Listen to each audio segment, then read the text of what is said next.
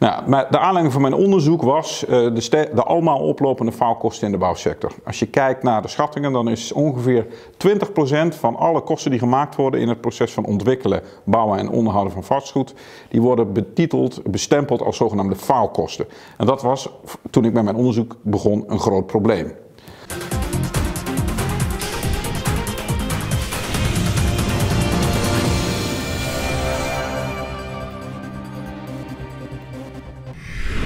Hoe zouden we dat probleem kunnen tackelen?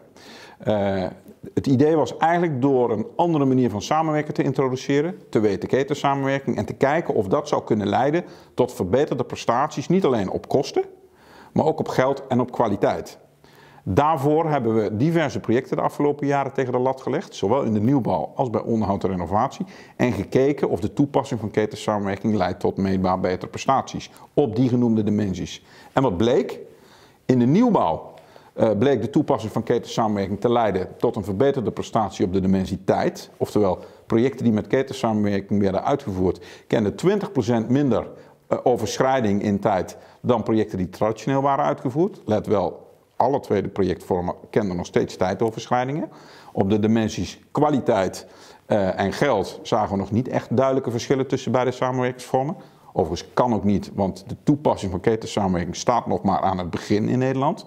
Daarentegen bij onderhoud- en renovatieprojecten zagen we wel een vrij groot verschil op alle dimensies van tijd, geld en kwaliteit. Oftewel, projecten die in ketensamenwerking waren uitgevoerd bij onderhoud en renovatie, deden het over de hele linie beter dan projecten die traditioneel waren uitgevoerd. En dat is heel bemoedigend. Want zoals ik al zei, we staan eigenlijk, als je het hebt over de onderliggende elementen waaraan je moet werken om de ketensamenwerking te laten werken, nog maar aan het begin. Dus ik vermoed als we de komende jaren verder gaan met de implementatie van ketensamenwerking, dat dat verschil alleen maar groter wordt. Overigens ook bij nieuwbouw. Als je die ketensamenwerking niet gebruikt, is het dan uh, het idee dat je vooral kijkt naar geld, of zo goedkoop mogelijk, en dat het daar misgaat? Nou, als je ketensamenwerking niet toepast, wil overigens niet zeggen dat je ook niet tot betere prestaties kan komen dan nu. Hè? Want de crisis maakt überhaupt de marktdruk zo groot dat iedere onderneming die zichzelf niet verder verbetert, kansloos is. Dus dat is ook een van de redenen waarom die verschillen tussen traditioneel en ketensamenwerkingsprojecten in nieuwbouw op dit moment nog zo klein zijn. Hè? Want daar was de concurrentiedruk het grootst. Partijen moesten met hun prijs omlaag en moesten zorgen dat ze zo goed mogelijke prestaties lieten zien. En daarom zie je die prestatieverschillen ook zo minimaal mogelijk zijn. Um, maar kijk, het is natuurlijk interessant als opdrachtgever, zowel als woningcorporatie als, als als bouwer, om inzichtelijk te krijgen, en dat is een groot gemis nu op dit moment in Nederland, van welke samenwerkingsvormen leiden nou tot de best mogelijke prestaties op tijd, geld en kwaliteit. En dat laatste, het inzichtelijk maken van de geleverde prestaties, niet de gecontracteerde prestaties, maar de echt gerealiseerde prestaties, dat is een grote omissie. Daar is heel weinig data voor beschikbaar om dat soort onderzoeken, de link tussen prijs en prestatie, te kunnen maken. En op basis daarvan als opdrachtgever te besluiten of je nou meer in traditioneel of meer in ketensamenwerking wil gaan doen. Is het iets wat je zegt, dat is een taak voor de overheid om nieuw beleid te formuleren?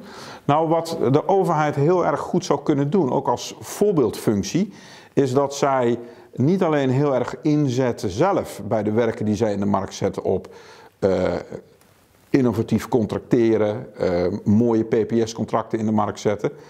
Want hè, op, in een contract kun je alles opschrijven. Dat, zijn, als het ware, hè, dat is het walhalla, want daar schrijf je op hoe je het hebben wil. Maar de grote vraag is natuurlijk of dat soort contracten nou ook daadwerkelijk leiden tot die prestaties die je dacht dat ze zouden realiseren. En wij zien natuurlijk genoeg voorbeelden, zeker de laatste tijd, dat je het met een contract alleen niet redt.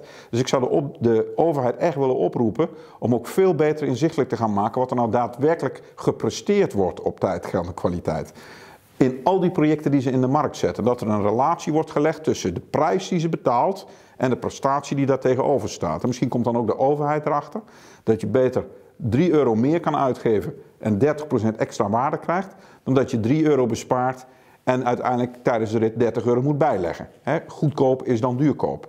En we hebben er genoeg voorbeelden van gezien dat dat aanbesteden op lage prijs nou niet bepaald leidt tot excellente prestaties.